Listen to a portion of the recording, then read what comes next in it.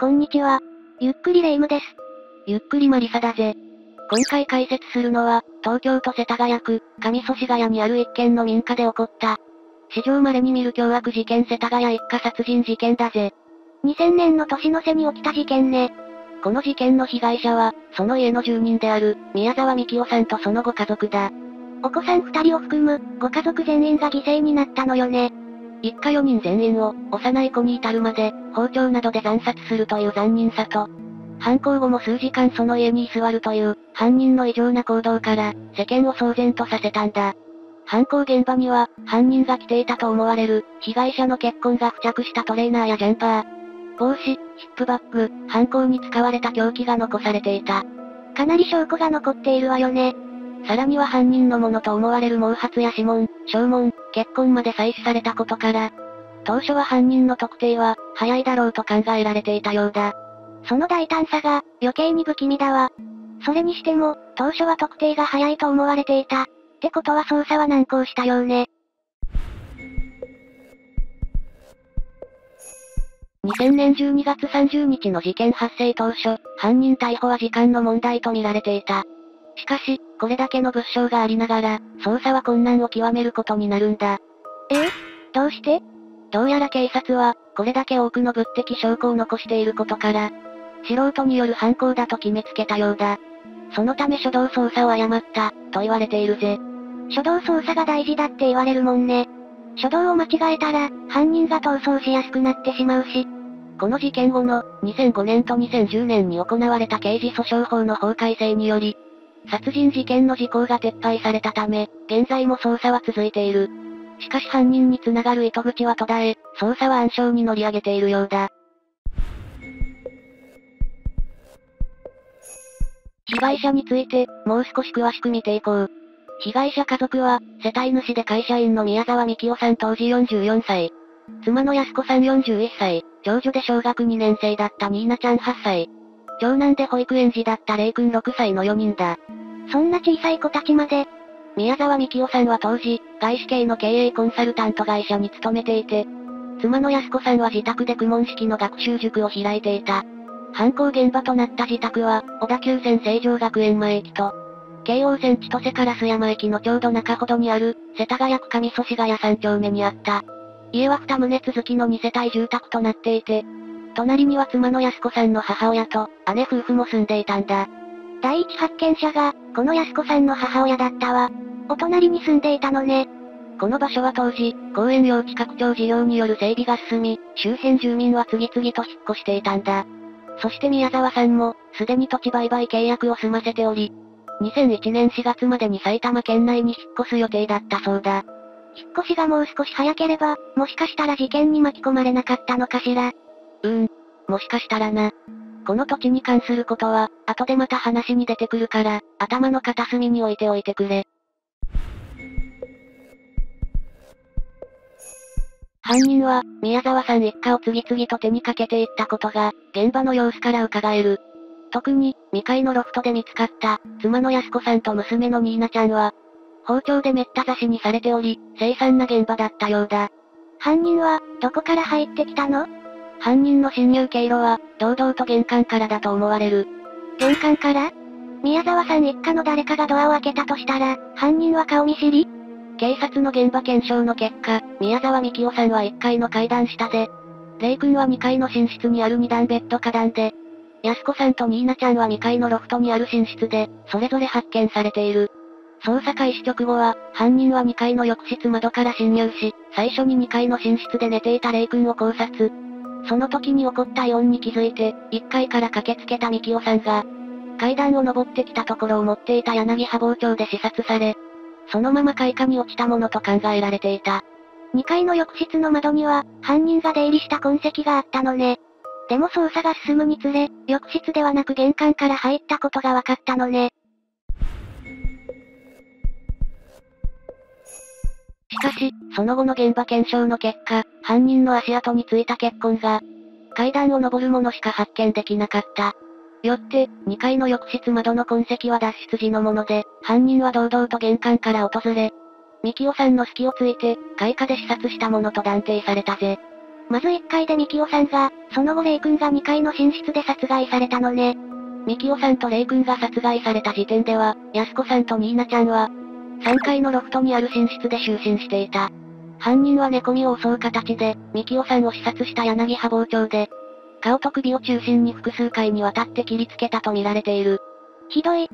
その後、犯人は二人が死亡したと思い、その場を離れるが、その時まだ安子さんは生きていたようで、出血するニーナちゃんを助けようと、ティッシュで血を拭っていたことがわかっている。怖かったでしょう。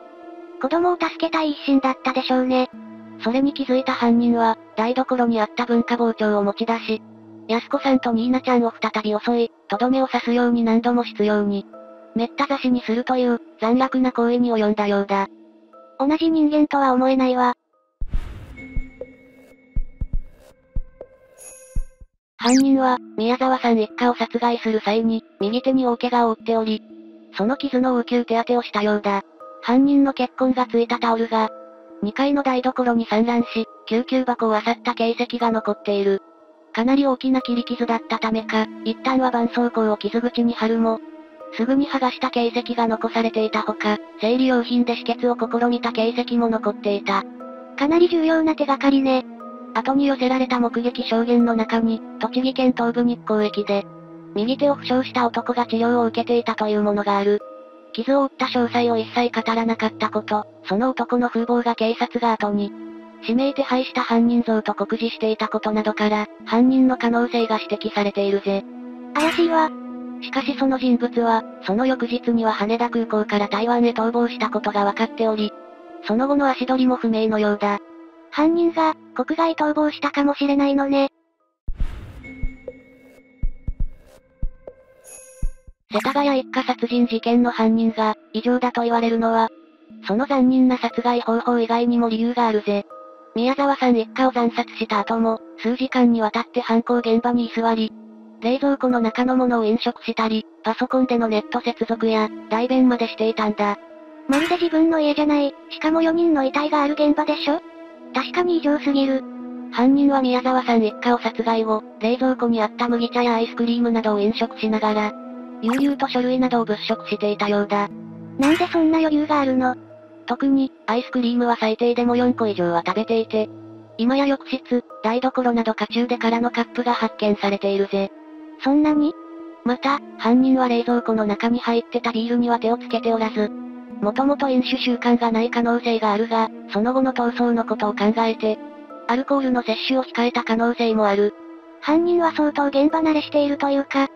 少なくとも、人の死に慣れている感じがするんだけど。だが、警察は当初のプロファイリング通り、素人の犯行説を念頭に置いて捜査を続けていたんだ。ええ本当に素人なら、よっぽどぶっ飛んだサイコパスだわ。まあ、プロだとしてもサイコパスに変わりないけど。犯人が現場に居続けたのは、自分に関係する書類を探していたからだという可能性があるんだ。書類？犯人は宮沢さん一家を惨殺した後、2階のリビングルームのソファに座って、キャッシュカードや銀行通帳、カード類や書類を物色していたようだが、それらはきちんと仕分けされていたそうだ。もし今回の犯行が、単なる金目当ての強盗殺人なら、わざわざ仕分けする必要はないわよね。銀行通帳やキャッシュカードとか、現金化できそうなものだけを持って、さっさと逃走するはずよ。ところが犯人は、タンスや机などの引き出しを片っ端から物色し、書類が入ってそうな引き出しを見つけると、イン。引き出しごと浴槽に持って行って物色していた形跡が残っているんだ。しかも、アイスを何個も食べながらなのよね。家の中のあちこちに、家族の遺体があるにもかかわらず、平然とアイスを食べながら書類を探していた犯人。想像するとかなり異様で恐ろしいわね。物色された書類には、ミキオさんの仕事関係や、安子さんが自宅で開いていた学習塾の書類などが含まれていて、このことから犯人は、宮沢さん一家と何らかのつながりがあった人物だと考えられている。ちなみに、月末ということもあって、安子さんの学習塾の、月謝約20万円相当がなくなっていたそうだが、キャッシュカードや貴金属類はなぜか手つかずの状態で残されていたそうだ。足がつきやすいから、現金以外には手をつけなかったのかしらね。やっぱり犯罪慣れしているように思えるわ。犯人がパソコンを使用し、インターネットに接続した形跡もあったぜ。犯人はミキオさんのパソコンを、少なくとも2回使用した形跡が残されていた。いずれも5分程度ではあるものの、インターネットに2度接続した記録が残っていたことがわかっている。何かの情報を探していたのかしら？キーボードからは指紋が検出されなかったことから、犯人はマウスのみでパソコンを操作していたようだな。ブラウザの履歴から、もともとブックマークされていた。ミキオさんの会社や大学の研究室、劇団四季のサイトも閲覧しており、舞台のチケットを購入しようとしていたこともわかっている。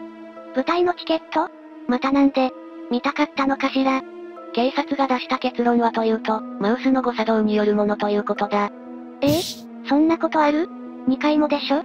だよな。インターネットへの接続が、1回につき5分程度であったことから、何かを調べるために接続したわけではなく、単なる捜査の格乱を目的とするものだったとする見方が強いようだ。犯人が劇団四季のチケットを購入しようとしたのは、少なくともミキオさんがその時間まで生きていたと思わせて、犯行時刻の推定を狂わせる、という目的があったのかもしれないな。なるほど。犯人が何のためにパソコンを操作していたかは不明だが、その間カップアイスをスプーンなしで、カップを握りつぶすように食べていたことが、パソコン脇に積み重ねられたアイスの空のカップから推測されている。証拠を消したいんだか、残したいんだか、わけがわからないわ。事件はどのように発覚したの？隣に住む安子さんの母親が、内線電話が繋がらないことを不審に思い、ミキオさん宅を訪れたことで、事件が発覚したんだ。午前10時56分頃だったと言われている。惨状を目の当たりにした実母の証言によると、ミキオさんは1階の階段下で、外出着のまま倒れていて、犯行後に犯人が物色したのであろう引き出しが、遺体の上に乗せられていたのだとか。小さくて見づらいが、映画子供部屋の2段ベッドの花壇で発見されたレイ君。B が1階の階段下で発見されたミキオさん。C が2階の階段の踊り場で発見された安子さんとニーナちゃん。安子さんと長女ニーナちゃんは、2階の階段の踊り場付近からは、全体が黒っぽい山のように見えたという証言から、洋服や布団などを無造作に被せていたのかもしれない。長男のレイ君については、2階の子供部屋の2段ベッドの花壇で、うつ伏せ姿で寝かせられた状態のまま、布団をかぶせられていたそうだ。娘夫婦や孫たちの、惨殺された現場に遭遇してしまったお母さんは、正気を保てるのかしら普通の精神状態ではいられないよな。母親は相当気が動転し、思わず死体を抱きかかえたりしてしまったために、現場の状況を色々と変えてしまっているようだ。無理もないわ。この事件の犯行現場には、指紋や血痕、物証など、犯人につながる証拠が多数残されていたことから、誰もが早期解決を確信していたという。隠すつもりあるのかしらっていうくらい、たくさん残っているわよね。警察は、頭の悪い粗暴な若者や、精神異常者による犯行に間違いない。という予断をもって、捜査が開始された。というのも警察の睨み通り、頭の悪い粗暴な若者による犯行であれば、当然前科がある可能性も高く、指紋も採取しているので、それを照合すれば一発だと踏んでいたんだ。ところがその見込みが外れたわけね。犯行現場で採取した指紋を、警察が有する1200万人もの前科者の指紋が登録されている。指紋認証システムにかけるも、全くヒットしなかったんだ。焦った警察は、この時点で宮沢さん一家に関係する親族や仕事関係、交友関係、地域住民など総勢2000人もの指紋を採取して検証してみたところ、こちらもヒットなしの結果に終わった。家に侵入する前後の情報はなかったの？事件発覚当時、かなりの情報提供が寄せられたようだが、結局どれも犯人逮捕には繋がらなかったんだ。やっぱり国外逃亡したのかしら？犯人は、被害者の帰り血を浴びたりしたため、着用していた衣服やバッグなど、多くの遺留品を残している。具体的に挙げてみると、ユニクロ製の黒色、L サイズのエアテックジャンパー。韓国製英国ブランドのテニスシューズスラセンジャー。黒いハンカチ、黒い防寒手袋。マフラー100円ショップでも売られている安価のもの。韓国製ヒップバッグだぜ。製造元までわかっているのね。注目すべきは、 Slazenger のテニスシューズだ。というのも、そのテニスシューズのサイズは28センチで、これは韓国でしか売られていない特別サイズなんだ。おお、有力な情報ね。そこで警察がどう考えたと思う？犯人は韓国から来たか、韓国滞在歴がある人物を疑ったとかじゃない？怪しい人物が国外に出た情報もあったし。警察は、犯人は個人輸入でテニスシューズを、韓国から取り寄せた可能性がある、と考えた。は？いやまあ、その可能性もあるけれど。警察は日本人犯人説に固執するあまり、このテニスシューズを、韓国から履いて来日した可能性を微塵も疑わなかったんだな。な、なぜに？また、韓国製ヒップバッグの中には、日本国内には存在しない様々な成分が発見されるも、日本国外に渡航歴がある人物と、あくまで日本人犯人説に立つ発表をしている。実は警察がこのようなスタンスを取ったのには、ある事情があったと言われている。これも後で詳しく話すぜ。警察への不信感が募っていくわ。警察は、世田谷一家殺人事件当時、安子さんとニーナちゃんの周辺によく出没していた。怪しい男を特定し、この男による犯行に違いないと、内定捜査を進めていたらしい。この男は、ニーナちゃんがバレエやピアノなどの習い事に通う際、頻繁に付きまとっていたストーカーで、ニーナちゃんの後を付け回したり、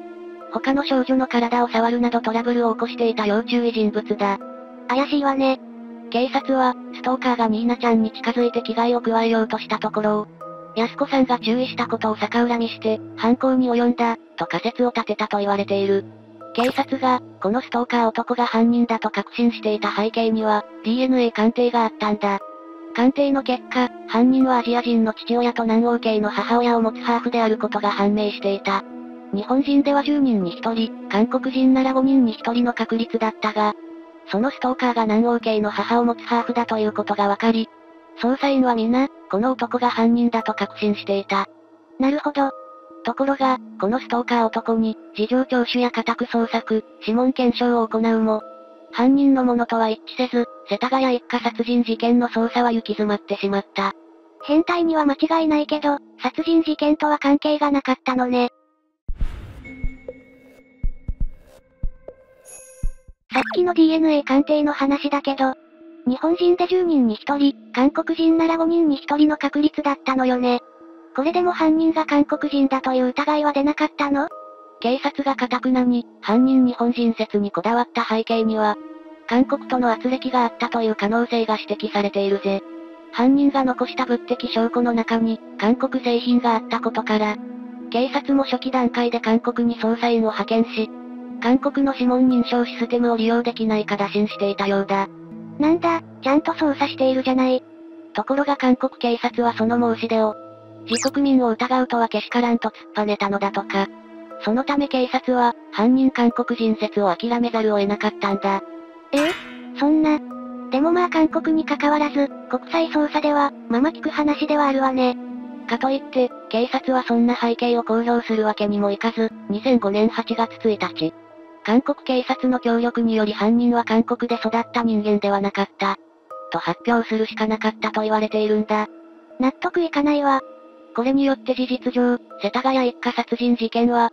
完全に迷宮入りしてしまったと言っても過言ではないぜ。この世田谷一家殺人事件では、そのあまりに残忍な犯行の手口と、救いようのない結末に、被害者一家に同情が集まる一方、単に善良な市民がたまたま異常な犯罪に巻き込まれた猟奇事件、ではなかったという見方があるのも事実だ。そうなの？実は、事件の被害者である宮沢さん一家は、熱心な統一教会信者であり、また、仕事を隠れ蓑にして潜伏していた北朝鮮のスパイだったとの説もあるんだ。え？スパイ？意外な展開だわ。というのも、宮沢みきおさんと安子さんは、統一教会のセミナーで知り合っており、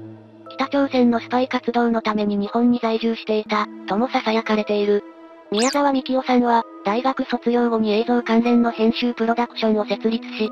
アニメ制作の仕事をされていた。そして事件当時は、英国系のコンサルティング会社に勤めていて、2002年に開催が予定されていた。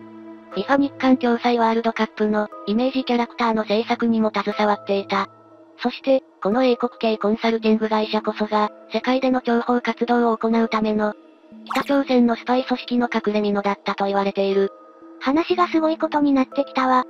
世田谷一家殺人事件が起きる1ヶ月前、20年間日本に住んでいた。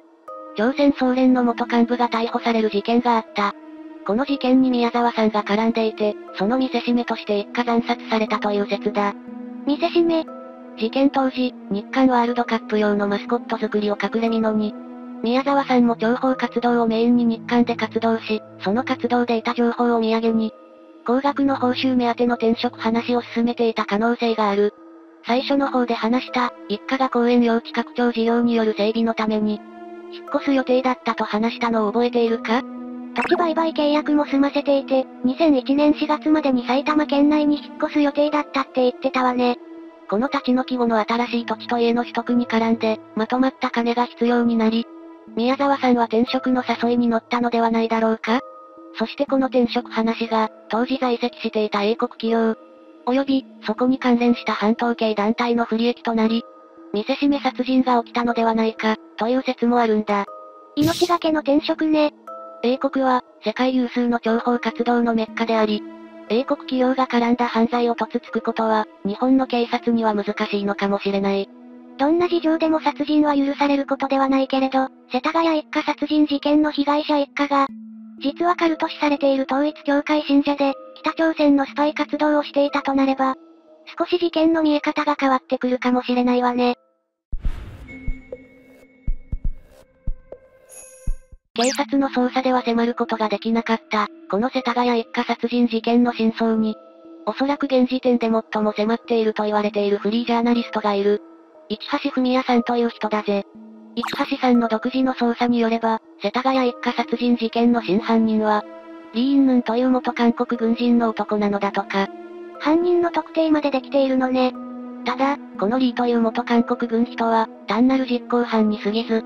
リーに宮沢さん一家殺害を命じた主犯は、都内在住の韓国系宗教団体元幹部の、金田秀道なんだそうだ。ここにも宗教団体が関わってくるのね。実行犯とされるリーは、生まれつき発達障害があり、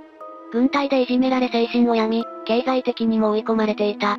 そんなリーに手を差し伸べたのがこの金田で、リーは金田を命の恩人と浸水していたらしい。恩人のために、殺人を請け負ったと。先ほども説明したように、一部では世田谷一家殺人事件は、統一教会による見せしめとして、宮沢さん一家が殺されたという見方がある。しかし実際は、この元宗教団体幹部の金田が、投資顧問会社の元代表 X からの依頼で、報酬を見返りに宮沢さん一家殺害を企てたのだとか。またややこしくなってきたわね。事業の失敗で、多額の資金を必要としていた金田が、宮沢さん宅に隣接する都立祖師ヶ谷公園の拡張に伴う移転保証金など、1億数千万円を狙って犯行を計画。言葉の発達が遅かった霊君の発育支援と称して、宮沢さん一家に近づき、自分に浸水するリーに一家4人を殺害させた上、現金や預金通帳、一家と自分のつながりがわかる、書類や年賀状などを奪わせた、というものだぜ。なるほど、この説だと色々と辻褄が合うわね。リーのような危険な男を、宮沢さんが自宅の中に招き入れたのも、霊君を通して関係のあった金田の知り合いということであれば、あり得る話だな。リーが犯行後も危険を冒して、10時間以上にわたって犯行現場に残り、金田とのつながりを示す書類を根こそぎ奪っていった、とすれば合点がいくわ。世田谷一家殺人事件は宗教絡みというよりも、金銭目的の犯行だったということね。もともと宮沢さん宅の周辺では、不動産ブローカーや地上げ屋が、住民を脅すなどして強引に退去させ、家屋を買い叩いた上で、東京都に高く転売するという地上げ行為が横行していたようだ。宮沢さん宅もその対象とされていたが、宮沢さんはこれを拒否し続けていたのだとか。そこで投資顧問会社の元代表 X が金田に、宮沢家を追い出せれば利益の15%を支払うと持ちかけ、資金繰りに窮していた金田がその話にまんまと乗った、という筋書きだな。だけど、宮沢さんに拒否された、と。そして金田は、長男の霊君の発達支援にかこつけて、宮沢さんに取り入り、信用を得たところで、おそらく金田の使いとでも称した。実行犯であるリーを宮沢家へ送り込んだ。これが、世田谷一家殺人事件の真相というわけね。2000年12月30日に起きた、幼い子供も含めた宮沢さん一家4人が、包丁などで惨殺された世田谷一家殺人事件について解説してきたぜ。最初は警察の初動捜査のまずさが目立っていたけど、だんだんと真相らしきものに近づいていくにつれ、印象がどんどん変わっていったわ。最後に紹介した市橋文也さんの説が正しければ、実行犯であるリーの性質からか、異常な殺戮事件になったものの、その実は単なる金銭目的の下船な事件だったということになるな。何が目的であれ、4人もの命と尊厳が奪われたことは、変わらないわ。亡くなった宮沢さん一家のご冥福をお祈りいたします。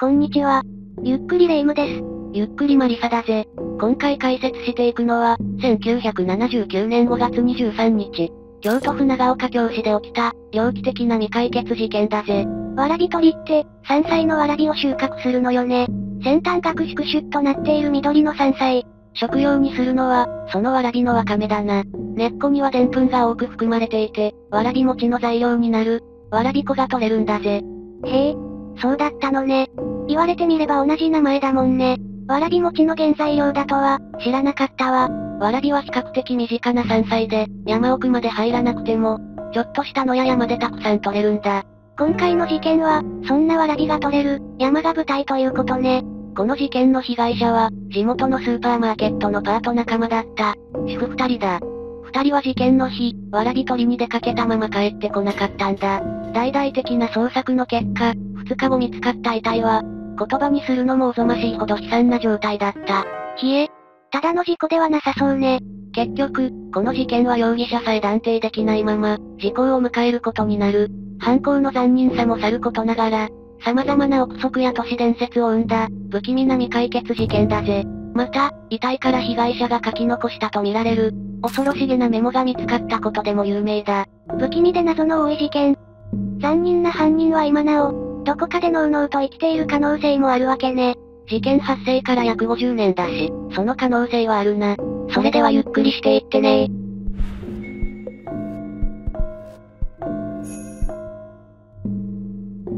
今回の事件の被害者は、主婦二人だったわね。被害者となってしまった、主婦の明石さん当時43歳、と、水野さん32歳は、スーパーマーケット泉屋、で働くパート仲間だった。1979年5月23日、二人は仕事を終えた後、わらび取りに出かける約束をしていたんだ。この日は天気も良く、気温も28度とわらび取りには最適な日だった。不気味な事件とは、まるで似つかわしくないような天候ね。午前6時から10時までパートをした二人は、店内で弁当を購入すると、そのまま自転車で川洋が丘の北北西に隣接する、里山通称の山に、わらび取りに出かけた。スーパーから 2km ちょっと離れた野山には、午前11時頃到着する。そしてふもとにある寺院サビ松院。前の畑に、自転車を止めて入山した。二人は、わらび取りにはよく来ていたの？明石さんは、その年7回目のわらび取りだったが、水野さんはわらび取り自体が初めてだったそうだ。明石さんは慣れていたわけね。この日入山する二人の姿を、サビ松院近くの宅地造成工事現場の警備員や、登山道入り口近くの竹林で、作業をしていた夫婦が目撃していた。そして、その目撃情報を最後に、二人は帰らぬ人となってしまった。入山前には、結構目撃者がいたのね。水野さんはわらび取りの後、午後3時半頃に、子供を保育所に迎えに行くことになっていたが、予定の時間を過ぎても現れなかったんだ。水野さんは夜になっても帰ってこず、心配した水野さんの夫が野山に探しに行ったが、彼女は見つからなかった。翌24日には、当直明けの明石さんの夫も捜索に加わったが、やはり二人の行方はわからなかった。そのため夫たちは、午後2時50分頃に向こう庁署に捜索願いを出している。ご家族の心境を考えると、苦しいわ。向こう庁署は、30人体制で直ちに捜索を開始した。捜索の結果分かったことは、先ほど言ったように、二人は関松院前の畑に自転車を止めた。こと、入山時の目撃者がいる。ことだった。宅地造成現場の警備員らが、23日の午前11時頃に、二人が入山していくのを目撃していた。その後も夜まで捜索は続けられたが、依然として二人は発見できなかったんだ。二人の消息がわからなくなってから、丸1日以上経っているわね。翌25日は、さらに人員を増やして、向こう庁署員、二人の家族や同僚、地元消防団など、120人体制で午前9時より捜索を開始した。警察犬3頭も捜索に参加した。そして午前10時30分頃、野山の山頂付近雑木林にて、獣道行き止まり地点で警察犬が反応した。明石さんの遺体が、そのそばの急斜面で発見された。ついで、その場所から斜面を約10メートル程度登ったところのにある、小さく開けた場所で、水野さんの遺体が発見されることになる。一体何があったの？遺体の状態から、警察は殺人事件と断定し、捜査が開始されたぜ。直接の死因は、明石さんが考察、水野さんは視察だった。検視の結果、死亡時刻はどちらも正午過ぎから午後2時半頃までと判明した。二人のリュックには、空の弁当箱、取ったわらび、財布が入ったままだったが、金を奪われた形跡はなかった。物取りの可能性は低いわけね。胃の内容物から、食後1時間以内に殺害されたことが判明した。二人はわらびを取った後、弁当を食べ、その後すぐに襲われたと推測されたんだ。なるほど。明石さんの衣服のポケットからは、追われている助けてくださいこの男の人悪い人、と書かれたメモが見つかった。メモは鉛筆で慌てて書いたような走り書きで、勤務先のスーパーのレシートに書かれていた。鉛筆は荷物から見つからなかったが、殺害現場から少し離れたところで芯の先端だけが見つかっている。犯人に追われている中で、必死にメモを残したけど、鉛筆は途中で落としたか、犯人が持ち去ったのかしら。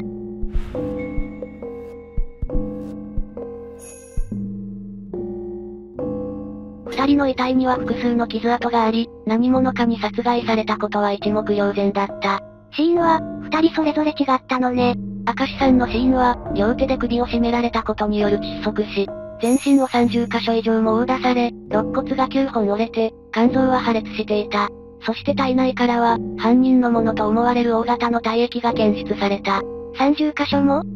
しかも内臓が破裂するほど、水野さんも、全身を50箇所以上も殴打され、包丁が胸に刺さったままだった。死因は失血死。犯人と激しく争ったような痕跡。着衣にかなり乱れがあった。そして犯人のものと思われる体毛が付着しており、こちらも血液型は O 型だった。なんでそこまで？二人の遺体は、アキレス腱が切られていたという話もある。二人が逃げ出さないように、そんなむごいことをしたのかしら。まるでハンターだわ。犯人の手がかりは、いくつか残されているみたいだけど、その後の捜査はどうなったの？懸命な捜査の甲斐もなく、有力な手がかりも得られないまま、事件発生から15年後の、1994年5月24日に、控訴事項が成立したぜ。その後、犯人が実施してくることも、容疑者が浮上することもなかったのね。過去には控訴事項が成立した後に、犯人が発覚したり実施したりしたケースもあったが、いずれも殺人罪としての起訴は不可能で、民事訴訟で解決を図る場合が多い。被害者とご遺族は、無念でしょうね。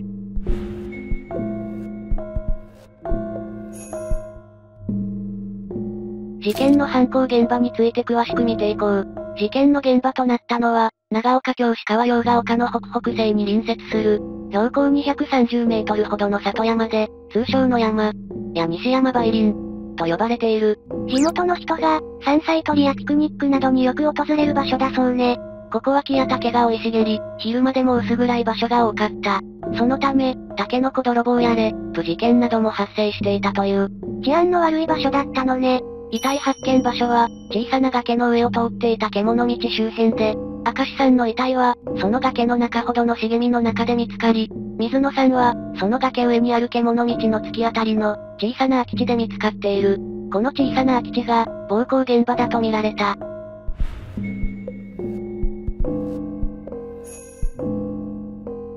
実はこの事件の前年、1978年の同じ時期に、不審な男が目撃されている。わらびを取っていたある主婦が、突然見知らぬ中年男に、奥さん、わらび取れますか？と声をかけられた。この中年男の手には包丁が握られており、驚いた主婦は少し離れた場所で、山菜を取っていた夫と子供のところに走って逃げたという。いやいや、怖すぎるでしょう。その方は、逃げられてよかったわ。その不審な男は、身長179メートルほどで、年齢は40から45歳ぐらい。場所は、事件現場から西南約300メートルほどにある雑木林の中だった。ますます怪しいわ。今度の事件にも、関係があるんじゃない？そして驚くことに、事件の6日前にも、40から45歳くらいの怪しい中年男に遭遇した人がいる。事件現場付近でわらびを取っていた主婦が、取れますか？と声をかけられているのだ。ええ犯人そいつじゃない？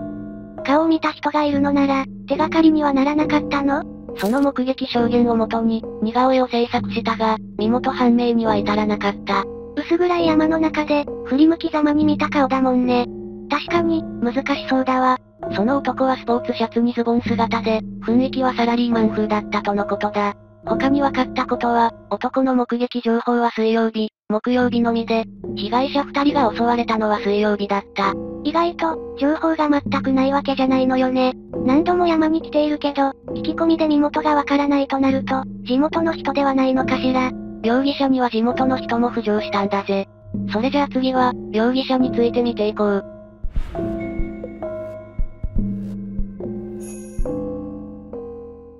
事件当日、地元で有名な二人の不良が、14時頃に野山から急ぎ足で降りてくるのを、地元住人に目撃されている。二人は建築作業員で、当時20代後半だった。この二人がよく、山にサイクリングに来ていることを、知っている人物からの目撃情報だそうだ。よく山に来ていたのなら、地形にも詳しそうね。この二人のうち一人は、誰にでも喧嘩を売るような乱暴者で、空手ができた。この二人は事件の日以降、急に真面目に仕事に励むようになったという。それまでは、不真面目でフラフラしていたそうだ。怪しいわね。被害者の二人の、外傷や内臓破裂からして、空手経験者で喧嘩っ早い乱暴者っていうのが特に。二人は警察の事情聴取を受けたが、犯人であるとの確証をつかむことはできなかったんだ。うーん。包丁を持った怪しい男とも、容姿が違いそうだしね。捜査によって、彼らは犯行当日は一日中別の場所にいたことが判明したんだ。勤務していた建設会社の社長が、彼らが別の場所にいたことを証言している。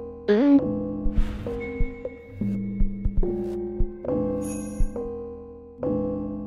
次は、被害者である明石さんの夫だ。未解決事件ではつきものの、家族犯人説ね。もう一人の被害者である、水野さんの夫は、妻の保険金を捜査の協力金として京都府警に寄付したんだ。その一方、明石さんの夫は、妻の保険金で新車を購入し、恋人を作ったという。このことから警察に嫌疑をかけられたらしいな。二人の夫の事件後の行動が、麻薬だから、心象が悪かったのね。ちなみに言っておくと、嫌疑はかけられたものの、明石さんの夫が容疑者として捜査を受けたわけではないぜ。お仕事でアリバイもあるでしょうしね。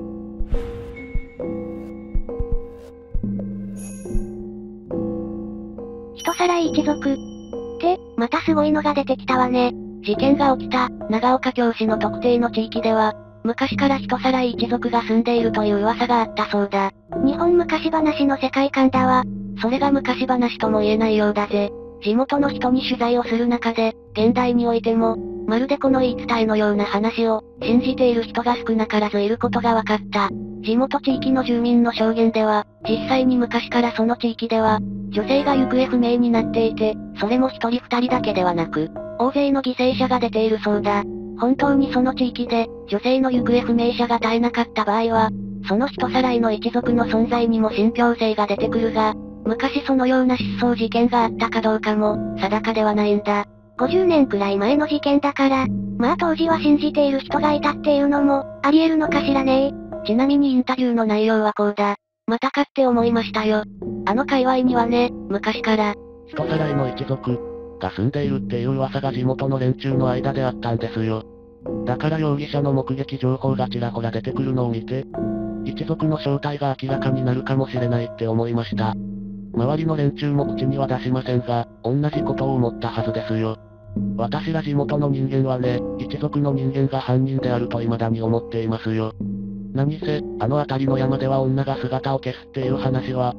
あの事件が起きるはるか昔からありましたから。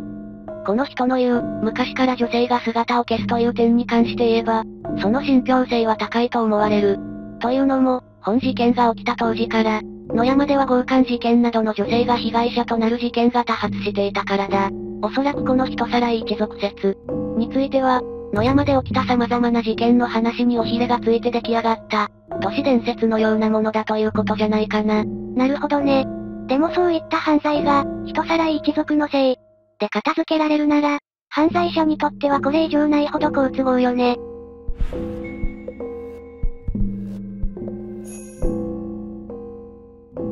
3人目の被害者って、2人の主婦以外にも、被害者がいたの？わらび取り殺人事件から5年後の、長岡教師で悲惨な事件が起きたんだ。5年後にまたの山で事件が起きたの ?1984 年5月15日、午後2時50分頃に、同じ京都府長岡教師で殺人放火事件が発生した。事件の発生場所は、国鉄現 JR 職員が住んでいた、木造2階建ての自宅だったんだ。放火によって家屋の一部が焼け、そして、焼け跡からは女性の遺体が発見されたぜ。野山じゃなくて、住宅地で起きたのね。しかも放火とは、発見された遺体の身元は、事件発生当時放火された家に住んでいた、48歳の主婦と判明した。この主婦の遺体は、布団に包まれた状態で焼け跡から発見された。布団に包まれた状態首や背中をめった刺しにされた上、布団に包まれた状態で、火をつけられ殺害されたと見られている。そしてこの主婦がわらび取り殺人事件の3人目の被害者だ、という話がある。山で起きた暴行殺人事件と放火殺人事件に一体どういう関係があるの？この女性は最初のわらび取り殺人事件当日、殺害された二人と一緒にわらび取りに出かけたが、先に一人で下山したので殺害から免れた、という説があるんだ。そしてマスコミと警察が報道協定を結んで、安全のため彼女の存在を公表しなかったというんだ。犯人から守るために、存在を非公開にされていたけれど、何らかのトラブルで、わらび取り殺人の真犯人に殺された、ということ？そうなんだが、この話は、そもそも情報元がはっきりしていない。第2の殺人事件の警察記者会見では、最初の殺人事件とこの主婦との関係は、全く言及されておらず、マスコミ関係の人物からも、報道協定についての証言は一切得られなかった。なるほど。そしたらわらび取り殺人事件との関連については、都市伝説みたいなものだと思った方が良さそうね。ただ、この放火殺人で、残された犯人の血液型は O 型で、右足の第二指が突出していることが判明している。そして、この事件も、わらび取り殺人事件と同様に、未解決となっているぜ。わらび取り殺人事件とのつながりは、都市伝説みたいなものだとしても、殺人放火事件自体は実際に起きたのよね。どうして、このような噂が流れたのかしら。二つの事件で殺害された主婦三人には、ある共通点があるんだ。それは殺害された三人ともが、スーパー泉屋に勤務していたことだぜ。しかし、放火殺人事件の被害者の主婦が、スーパー泉屋で勤務し始めたのは、長岡京殺人事件の後なんだ。じゃあ、先の事件の二人と、この主婦が、顔見知りとは限らないわけね。おそらく、同じ長岡教師で起きた事件ということ。被害者に対してかなり残虐であること。犯行時期や時間が似通っていることから関連がありそうだと思われたんじゃないかな。犯人の血液型が、O 型ということも共通点ね。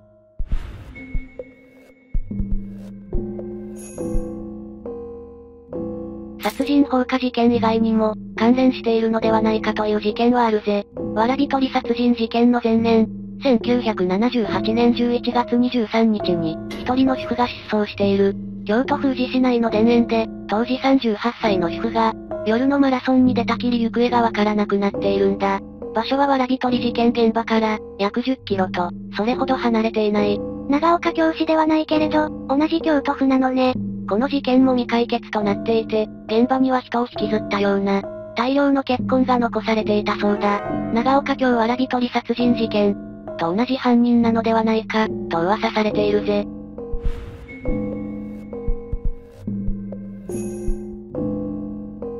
長岡京わらび取り殺人事件は、テレビドラマの題材として取り上げられたこともあるぜ。この事件から36年後の2015年、天使と悪魔は未解決事件匿名交渉家、というドラマが、テレビ朝日の深夜枠で放送された。女優の剛力あやめさんが主演で、弁護士と共に過去の未解決事件を再捜査していく内容だったわね。このドラマの題語は、明けび山の殺人事件。が、まさに長岡京殺人事件を題材にしているんだ。もちろん脚色したり、色々とぼかしている部分はあるが、犯人の動機が怨恨であったり、長岡京殺人事件の被害者は同僚をいじめていた、や、不倫売春していたなどの、当時週刊誌に書かれていたネタなどが取り入れられていたんだ。週刊誌のネタは本当なの？もちろんただの憶測に過ぎず、そんな事実は一つも確認されていない。こんな風に、週刊誌であることないこと書き立てられたり、数十年を経てもドラマの題材として取り上げられるほど、長岡京殺人事件は衝撃的な事件だったということだ。なるほどね。この衝撃的な事件は、他にも影響を与えたんだ。これ以上何かあったの？事件発生当時は、防犯カメラを設置しているところは、多くなかったんだ。防犯カメラを設置しているところといえば、スーパーやコンビニ、パチンコ店などの店舗が多く、万引き対策のため店内に設置されていることがほとんどだった。一般家庭や街頭なんかには、あまり設置されていなかったわよね。そのため、警察の捜査も難航し、未解決のまま時効を迎えた事件が多くあるんだ。長岡京わらび取り殺人事件の後、徐々に防犯カメラが、街頭などにも設置されていくようになったんだぜ。良い影響でよかったわ。確かに、今の犯罪捜査に街中の防犯カメラは、欠かせない存在になっているものね。観光地として人気の、古都京都で発生した、猟奇的な長岡京わらび取り殺人事件。決定的な証拠はなく、未解決のまま時効を迎えた。日本には、この事件や、その5年後に発生した殺人放火事件以外にも、